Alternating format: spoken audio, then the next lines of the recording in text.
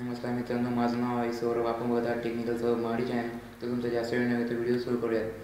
मित्रांनो प्राईम मेंबरशिपविषयी बऱ्याच लोकांचे कमेंट आले आहेत की ज्यांची प्राईम मेंबरशिप आहे एकतीस दो एकतीस मार्च दोन आठवडा संपणार आहे. पण काही लोकांनी मोठा रिचार्ज केला आहे. पण त्यांचा एकतीस मार्च नंतर प्राईम मेंबरशिपचा फायदा मिळणार आहे की नाही का त्यांना परत प्राईम मेंबरशिप घ्यावी लागेल?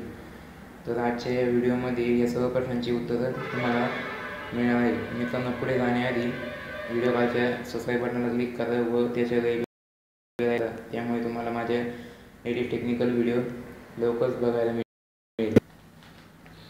मित्रांनो प्राईम मेंबरशिप घेतली. त्याची वैध मार्च दोन हजार अठरापर्यंत होती. पण सध्याला काही लोक असे आहे की त्यांचा चालू प्लॅन मोठा आहे. तो एक ती एप्रिल किंवा मे महिन्यात संपणार आहे.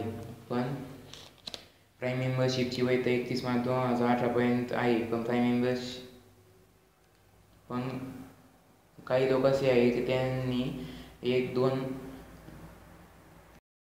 दोन रिचार्ज एक्स्ट्रा केले आहेत. त्यांचा जो प्रश्न आहे की जे रिचार्ज केला आहे त्याला एकतीस मार्चनंतर प्राईम मेंबरशिप लागू होईल की नाही? तर मित्रांनो होईल.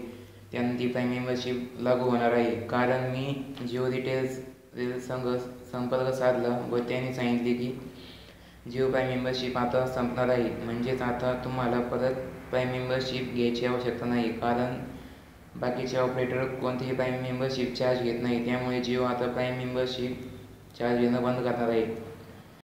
पण जिओ सिम फ्री मिळत होतं. पण